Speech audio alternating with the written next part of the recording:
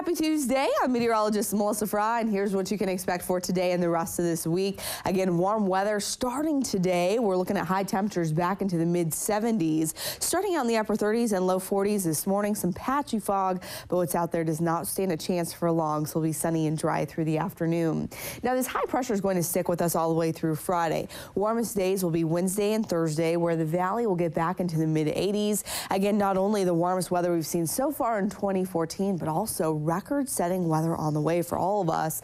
Uh, then as we head toward this weekend, that ridge eventually moves on. Next chance for rain showers is going to be Sunday here in the valley, and we'll get back to normal as we head into early next week. Hope you find places to stay cool this week. And once again, thanks for logging on to KEZI.com. Hope you have a great day.